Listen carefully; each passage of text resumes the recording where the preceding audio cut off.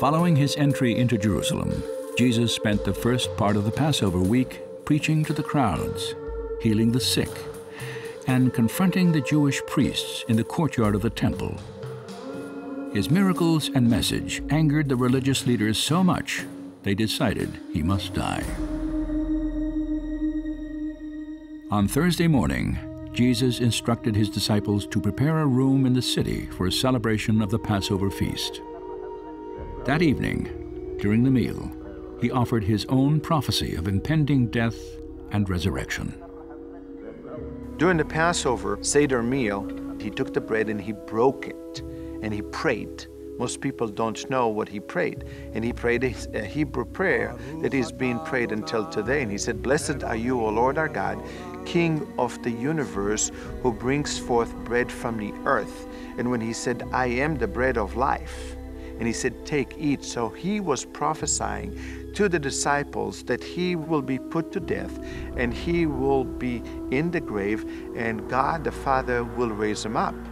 Blessed are you, O Lord our God, who brings forth bread from the earth, meaning his body will be in the earth and it will be resurrected.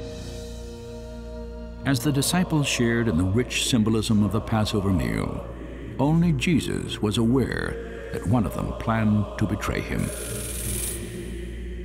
After this, Jesus was troubled in spirit and testified, I tell you the truth, one of you is going to betray me, the one to whom I will give this piece of bread when I have dipped it in the dish. And he gave it to Judas Iscariot.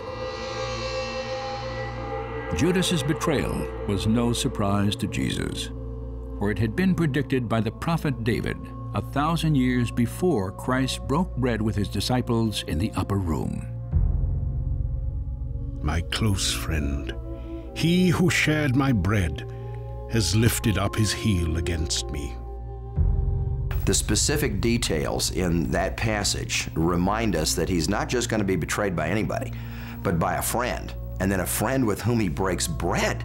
You can't miss the fact that this is Judas at the Last Supper. Uh, it is so obvious that the prophecy literally shouts to us about its fulfillment in the New Testament.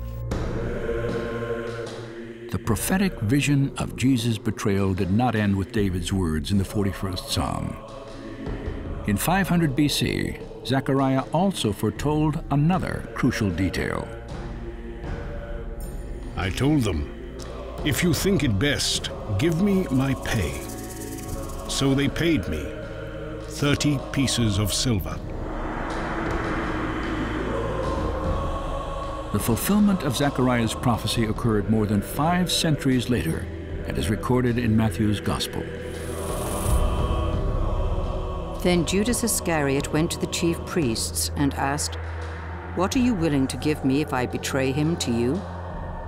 So they counted out for him 30 pieces of silver. The common slave price in the Old Testament was 20 pieces of silver. You may recall that uh, Joseph's brothers sold him into slavery for 20 pieces of silver. With inflation over time, by the time of the New Testament, it was 30 pieces of silver. Jesus was betrayed for the price of nothing more than a common slave. For Zechariah in the Old Testament era, to predict that it would be 30 pieces of silver, not 20, was contrary to the economics of the day, and yet it had uh, a prediction involved in it that it would be exactly that amount of money. Each detail tells us specifically what is going to happen so that when it occurs, it is obvious this is the fulfillment of it.